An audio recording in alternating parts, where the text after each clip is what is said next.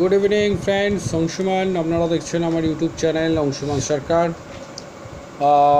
just একটু আগে আমাদের কাজ শেষ হলো, কিন্তু অসহ্য গরম কাজ করা যাচ্ছে না।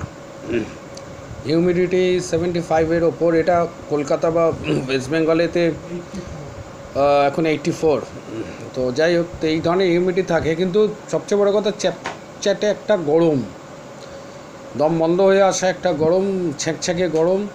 ফর্টি ডিগ্রির ওপরেতে টেম্পারেচার প্রায় গরমকালটা প্রায় ম্যাক্সিমাম ফর্টির ওপরে, যেটা কলকাতাতে এই ধরনের টেম্পারেচারটা থাকে না।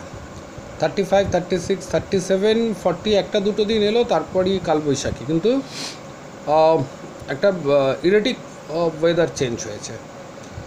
আর সবচেয়ে বড় বিষয় যেটা বলতে চাইছি, জল সমস্যা। গত সাত দিনে প্রায় পাঁচ ছটা জায়গায় সয়েল টেস্ট করলাম। যে জায়গাগুলো আগে সয়েল টেস্ট করে পাঁচ মিটার সাত মিটারেতে মাটির লেভেলে মানে জল পাওয়া গিয়েছিল, পাওয়া যায় আর কি জেনারেলি এবং এই গ্রীষ্মকালেতেই আগের বছর এইসব এলাকাগুলোতে কাছাকাছি এলাকায় সার্ভে করেছিলাম সয়েল টেস্ট করেছিলাম।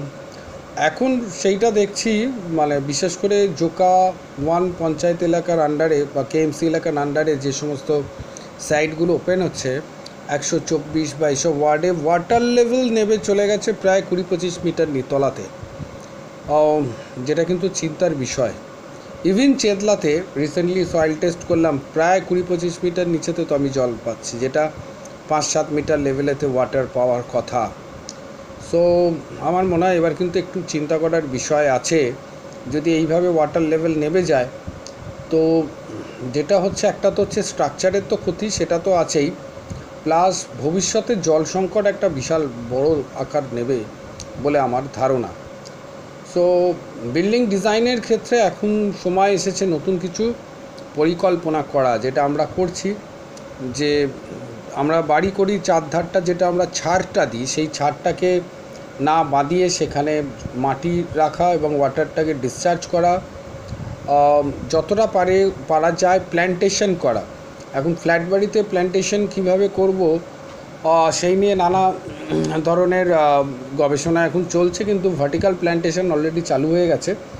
আমরা প্রত্যেকটা ফ্ল্যাটের উইন্ডোর যে গ্রিল গ্রিলের সাথে আমরা প্ল্যান্টেশনের একটা চিন্তা ভাবনা করেছি। অর্থাৎ উইন্ডো বড় বড় উইন্ডোগুলোকে আমরা করেছি, যেটা প্রায় ওয়ান একুশশো হাইট অব দি উইন্ডো থাকবে, যেখানে ভেন্টিলেশনের কোনো অভাব হবে না।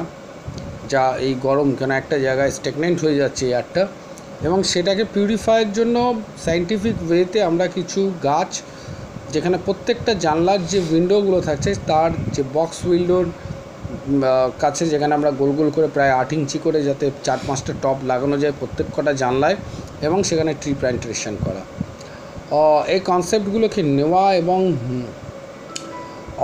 আমি জানি না আগামী দিনে কোন জায়গায় আমরা যাচ্ছি। আমরা প্রত্যেকটা বাড়িতে এখন এসি ছাড়া আমরা থাকতে পারছি না, এটা ঘটনা দুর্বিষহ হয়ে যাচ্ছে। তো মেকানিক্যাল ওয়েতে যদি এইভাবে আমরা ঠান্ডা করতে যাই, তো কিন্তু একটা দিন আসবে, এটা এই মঙ্গল গ্রহতে মানুষ যেভাবে বসবাস করার চিন্তা করছে একটা একটা টিউবের মধ্যে থাকবে, কেন অক্সিজেন নেই ওখানে।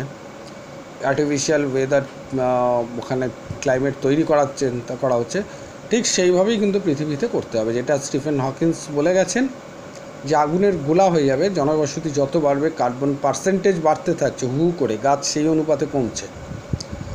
তো আমার মনে হয় কিন্তু চিন্তা করার সময় এসেছে। গুড নাইট ভালো থাকবেন। আবার কাল সকালেতে নতুন ভিডিও নিয়ে আসছি। অংশমান, অবশ্যই সাবস্ক্রাইব করবেন লাইক দেবেন সাবস্ক্রাইব করবেন।